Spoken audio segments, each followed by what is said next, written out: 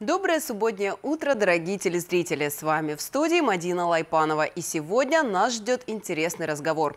11 ноября в России отмечают необычный праздник – День шопинга. По своей сути, это день больших скидок, который с нетерпением ждут заядлые шопоголики. О том, что такое шопоголизм и почему на нас магически действуют скидки, мы поговорим с практикующим психологом Викторией Пелюшенко.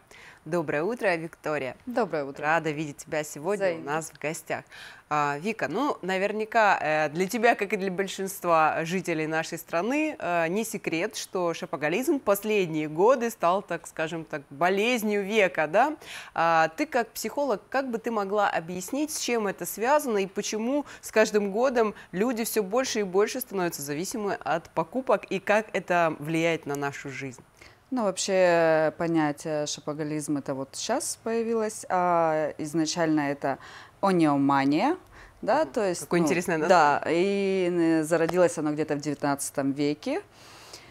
А, И с каждым годом сверхпотребление растет у людей, да, и тут нужно понимать, что как бы корень слова там идет мания, то есть мания – это влечение, увлечение – это сверхидея, тогда человек полностью поглощен этой идеей. А, Изначально, как бы, если смотреть на первопричины, то у любой мании, зависимости, у всего, что вызывает такое увлечение, а, идет первопричина – это наше бессознательное, бессознательные желания получить удовлетворение. Мгм. То есть у нас изначально для психики две основные функции. Это сохранить человеку жизнь, сохранить тебе, своему «я». Да, сохранить себе жизнь э, любыми путями, чтобы вы понимали, любыми путями, но нужно сохранить себе жизнь. И также получить удовольствие, и тоже любыми путями. Ага, да. Да, то есть э, как бы иногда это может э, внешне не выглядеть как удовольствие, но внутренне, бессознательно получает свои какие-то поглаживания. Мгм. Вот тут также любая мания, она изначально развивается каким образом, да, то есть что-то понравилось, ты получил удовольствие, Мгм. да, и потом ты начинаешь это повторять, там, сначала редко, Ага. потом чаще, да, и чаще-чаще это становится привычкой, и после того, как это становится привычкой, ну, тут еще как-то можно с человеком повзаимодействовать, как-то Мгм. поработать, когда же это становится зависимостью, тут уже тяжелее, конечно. А скажи, пожалуйста, Вик, как диагностировать у себя вот эту зависимость? Потому что, ну вот что является критерием? Потому что я думаю, ну сейчас а, практически невозможно встретить человека, который не совершает покупки. Где вот эта тонкая грань пролегает от того, что ты просто покупаешь то, что тебе нужно, до того, что ты шопоголик?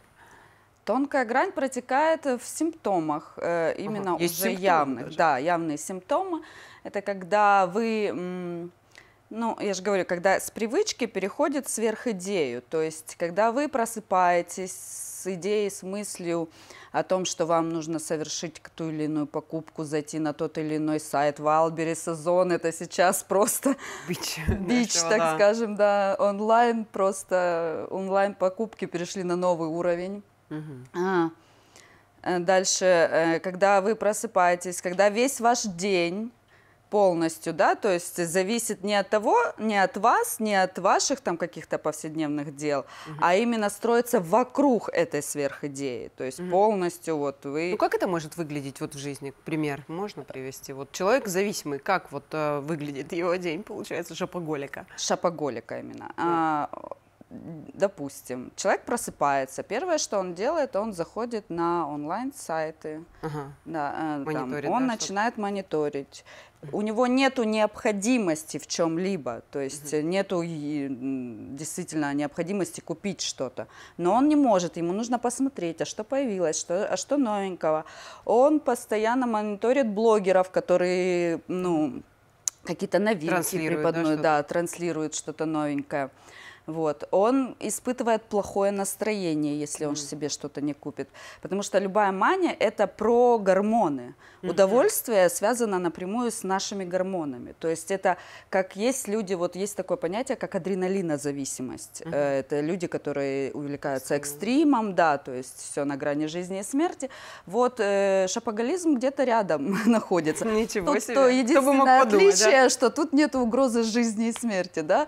Тут- но именно именно в плане гормонального э, удовлетворения, оно где-то рядом. То есть ты испытываешь эйфорию, ты испытываешь адреналин, это все подкрепляется, падает в бессознательное. То есть картинка, я себе что-то купил, и, э, значит, адреналин, выброс гормонов. Это все э, фиксируется и да? падает бессознательно. И уже потом, допустим, у меня какие-то проблемы, я что делаю? Иду покупать. Иду покупать. Я знаю, где я получу эти эмоции, я знаю, каким образом закрыть вот это вот плохое состояние, и я иду делать привычным образом покупки. Вы заходите там в торговый центр или на сайт или еще что-то, и у вас улучшается настроение, вы чувствуете эйфорию, вам хорошо, вы расслабляетесь, наконец-таки вот этот груз э, спадает, да, да. вот это все как бы проблемы отходят на второй план, вы что-то покупаете, и вот этот вот период, пока вы совершили покупку, все, домой вы можете прийти вот этот вот момент, когда вы разочаровываетесь и вообще не понимаете, А, зачем вы себе это купили. Короткий такой промежуток, Да, да, это счастья. всегда короткий. У любой зависимости промежуток счастья всегда сопровождает краткосрочностью. То есть это нету момента, что ты будешь счастлив вот постоянно. Нет. Это именно краткосрочный момент удовлетворения здесь и сейчас. А скажи, пожалуйста, человек зависимый шопоголик, он может э, осознать, что у него есть эта зависимость, или все-таки будет отрицать до конца, как ты считаешь? Не, в любом случае человек разумный, он в любом случае Может может, понять, осознать, да? что у него есть Мгм. та или иная проблема, да. Другой вопрос, хочет ли он действительно, да, э, потому что шопоголизм чем отличается? Это, ну, вот, допустим, игромания и шопоголизм, они э, очень связаны в том плане, Ага. что, ну, я имею в виду сейчас не игроманию, именно компьютерные игры, А. а, вот, которые денежку вот А, тратят, вот, автоматы, да? автоматы, да, Ага. вот они ж, ну, где-то сродни. То есть э, вкладываешь денежку, получаешь удовольствие. Вкладываешь А. денежку, получаешь удовольствие. Да? То есть в игромании люди переходят там вплоть до таких, э, там появляются долги, продаются Мгм. квартиры, закладывается там все, что дома, да. Вот. Шопоголики тоже могут доходить до такой стадии. Они берут Ничего долги, они чтобы приобрести там ту или иную Кредиты, да? сумочку, кредиты, вот это вот э, банковские карты кредитные, просто у них долги, постоянные коллекторы и так далее. То есть семья тоже страдает. Вот это вот схожий момент. Скажи, пожалуйста, а как ты считаешь, вот как психолог, опять-таки, наша современность, да, вот эта кричащая реклама, вот эти черные пятницы, они как-то провоцируют людей или все-таки причина лежит где-то глубже? Конечно, считаешь? провоцирует. Нет, ну смотрите, давайте э, э, как бы Разделим, да? Да, разделим. Э, первопричина, естественно, первопричина, естественно, лежит в человеке. Ну, это его исключительно первопричина. С чем она связана, это всегда только на терапии мы можем узнать, э, А. почему человек поступает так, а не иначе. Вот. Но в целом, если человек склонен да, к каким-то вещам, он же как открывает для себя мир шапокализма, шапоголизма? Есть Прозвучало практически как алкоголизма, шапокализма. Как он открывает для себя этот мир, да? То есть он идет, видит какую-то рекламу и думает, ну, почему бы и нет, да? Попробую, да? Попробуй, да? А потом, опять-таки же, все бренды, все вообще в целом э, имеют агрессивный маркетинг. Ну да, То есть достаточно. очень, э, э, то, что там яркие вывески и так далее, плюс вот это вот, э, как сказать, сверх необходимость в каком плане? То есть, э, если ты купил тот или иной бренд, то ты, Ты крутой, испытываешь власть, а все Я люди, люб- других, да? люди любят власть так или иначе, испытывать свое превосходство человек. Ну, это я не говорю, что это плохо. Но в целом э, это То есть погоня за брендом своего рода, как бы, да, вот э, возмещение некоторых комплексов или нет? Да, всегда. Если кто, может, смотрел э, интервью Сергея Орлов, есть такой стендап-комик, он рассказывал, вот так к нему приходили, знаете, как они снимают, приходят домой, и вот у него есть э, коллекция э, кет Nike. Мгм. Вот, и там их прям целая стена в таких пластиковых боксах. То есть он их даже не носит, а просто... Половину, да, они просто стоят. Ну, может, один-два раза надел. И вот он то- то- точно так же говорил, вот есть внутри дыра моих комплексов, и я думаю, что я вот сейчас вот выстрою эту стену и закрою ее. Но дело в том, что, говорит, чем больше стена, тем больше дырка, тем Мгм. больше комплексов. То есть невозможно перекрыть покупками вот то, те комплексы, Состояние, ту да, необходимость, э, то желание что-то получить, какое-то удовле- удовлетворение, э, покупками не перекроешь вот эти. Мгм. Ну скажи, пожалуйста, процесс лечения шопоголизма, он э, сложный вообще? А, в целом, не, все, опять-таки же, вот, э, что касается э, терапии, все всегда индивидуально. Нет там золотой таблетки, золотых правил или еще чего-то. Да? Но есть, да? но есть а, основное, что нужно найти, это первопричину, почему человек, вот, ну, откуда пошла эта потребность, да, Ну, помимо нашей основной потребности получать удовольствие, да, откуда пошла сверхпотребность, э, что человек хочет спрятать за этой сверхпотребностью, за этими Мгм. покупками. Первопричину найти. А потом уже, исходя из этой пер- первопричины, идет терапия, то есть э, там, может обида, может э, злость, еще что-то. То есть, и, скорее всего, есть какие-то эм, э, Эмо- чувства и эмоции, которые человек не хочет переживать, не хочет с ними сталкиваться, и он как бы компенсирует вот это вот э, э, нестолкновение с этими эмоциями столкновением с другими, то есть с удовлетворением. Вот так. А можно ли, а, допустим, придать шопоголизму, ну там определить, что чаще всего женщины или мужчины болеют, или в принципе здесь нет рода? Как ты считаешь? А, ну, вообще, по статистике, там, в основном женщины всё-таки страдают большинство, да? шопоголизмом, да. Но, опять-таки же, тут нужно смотреть. У мужчин, э, у, у женщин это ярче видно, но у мужчин это, если, допустим, смотреть, э, там, любимая машина, что касается любимой машины, допустим, купить в нее то, другое, пятое, Мгм. десятое, то... Постоянно вкладываешь в машину. Да, то, то тут они как бы не Могут отличаются, переплюнуть, да? могут даже переплюнуть, допустим, А. девушек.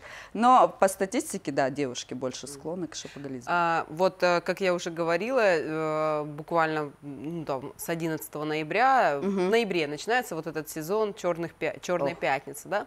А, хотелось бы получить несколько советов, как человеку, обывателю простому, скажем так, не стать жертвой маркетинга и приобрести что-то выгодное, но реально нужное для себя. Как вот э, себя сдержать, скажем так, от таких ненужных покупок? Очень просто. Вы должны обойти сначала свой дом и действительно записать необходимые вещи. То, что у вас не нужно, э, вам нужно, что не нужно.